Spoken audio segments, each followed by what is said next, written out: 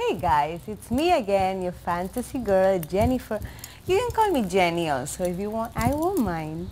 I was just dreaming about this big macho football player playing ball with me and spending the whole afternoon with me eating chocolate. Then playing ball, then soaking in a bathtub of chocolate with a football in the bathtub.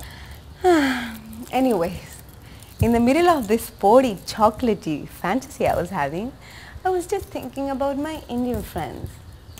That they're having such different kind of fantasies. They keep thinking of a ball game of a different kind. You know, my boss wants me to come up with a new and brilliant concept every day. Every day, huh? You know what he says? He says, Jignesh, dude. He says dude a lot. You need to keep your eye on the ball. In today's competitive world, you can't afford to take your eye off the ball for even a second, dude. Even a second. You know, I want to tell him, do you think when Sachin is on the pitch, he scores a century every time? I mean, he's been out on zero so many times and he's still the country's hero.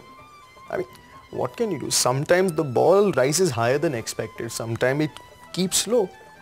And then the pitch is there. What if it's rough? The ball will naturally skid. यार तेरे को cricket का इतना ज्ञान है then go and play it log on into www.indianfantasyleague.com because fantasy is better than asli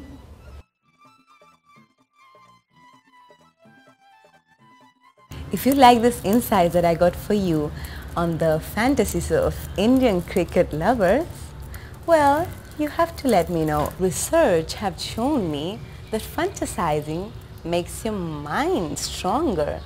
And of course, it's better on the asli thing. Bueno, lindos, I would love to know how you mix your fantasies with cricket. You could just send me your clip to fantasycricket at gmail.com. Till then, happy fantasizing.